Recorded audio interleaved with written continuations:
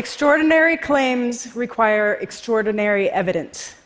And it is my job, my responsibility as an astronomer, to remind people that alien hypotheses should always be a last resort. Now, I want to tell you a story about that.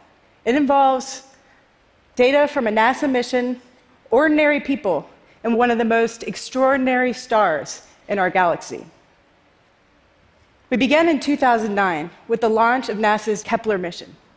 Kepler's main scientific objective was to find planets outside of our solar system. It did this by staring at a single field in the sky, this one with all the tiny boxes.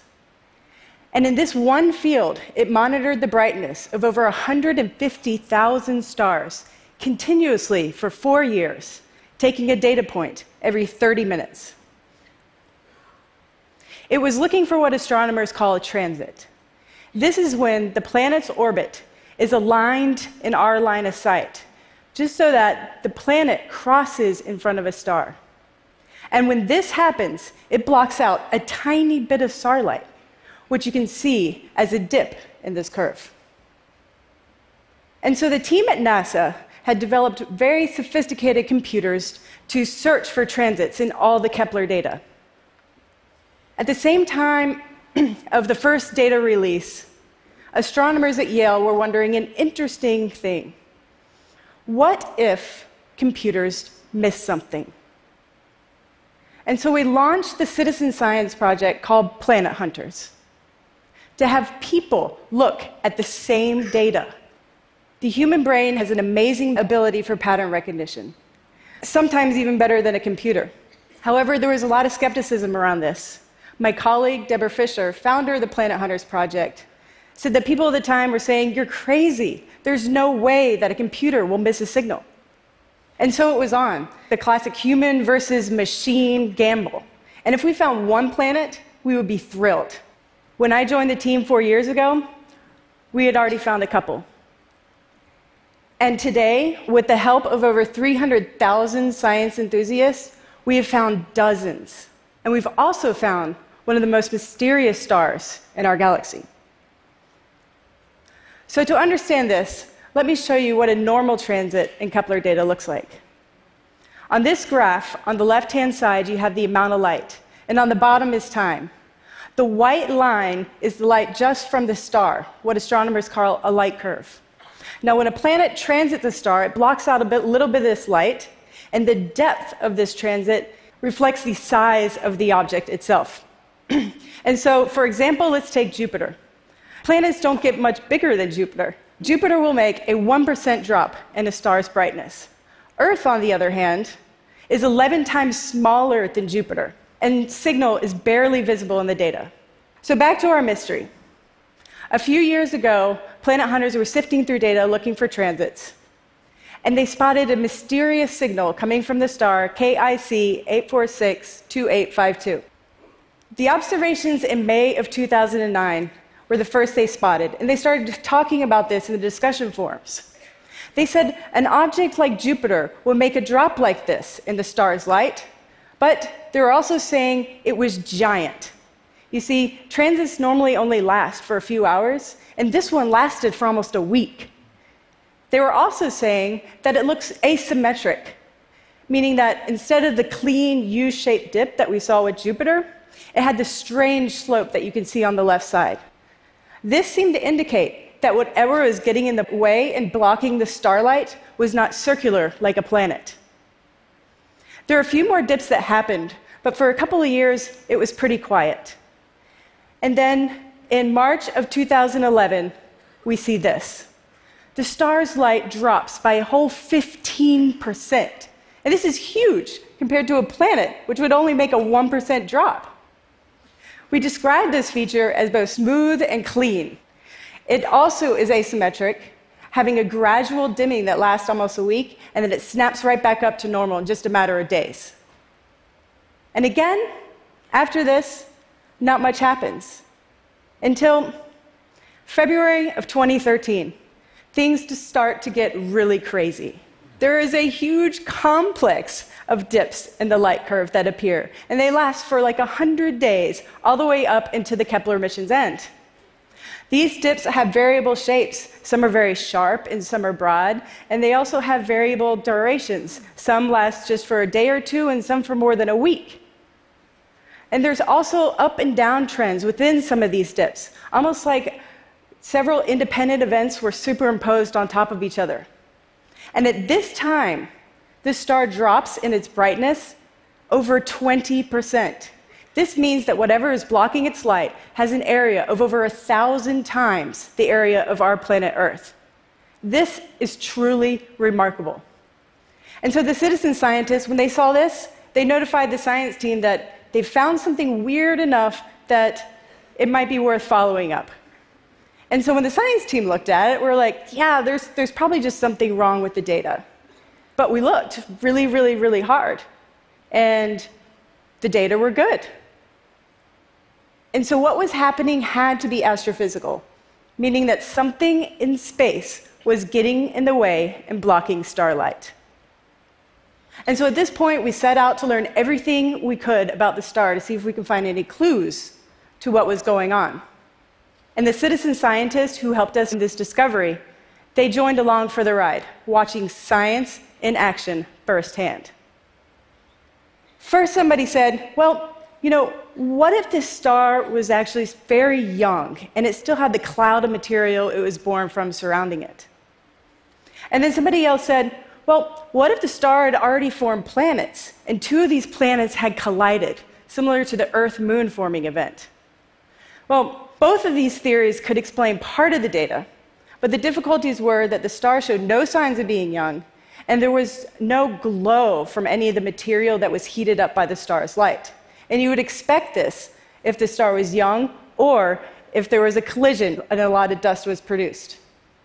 And so somebody else said, well, how about a huge swarm of comets that are passing by the star in a very elliptical orbit? Well, it ends up that this is actually consistent with our observations. But I agree, it does feel a little contrived. You see, it would take hundreds of comets to reproduce what we're observing. And these are only the comets that happen to pass between us and the star. And so, in reality, we're talking thousands to tens of thousands of comets. But of all the bad ideas we had, this one was the best. And so we went ahead and published our findings. Now, let me tell you, this was one of the hardest papers I ever wrote. Scientists are meant to publish results, and this situation was far from that. And so we decided to give it a catchy title, and we called it Where's the Flux? I will let you work out the acronym.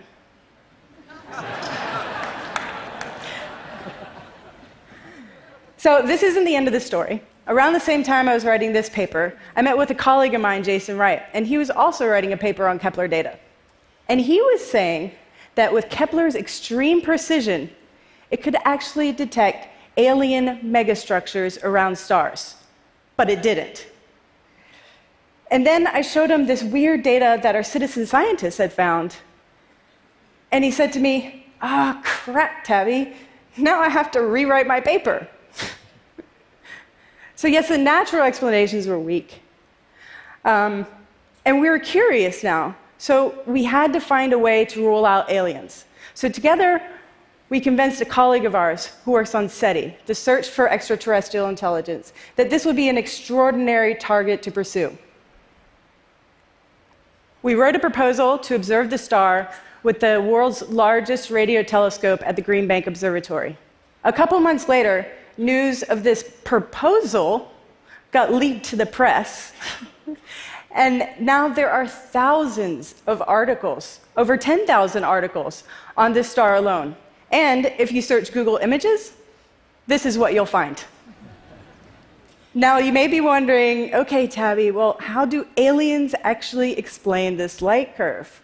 Okay, well, imagine a civilization that's much more advanced than our own.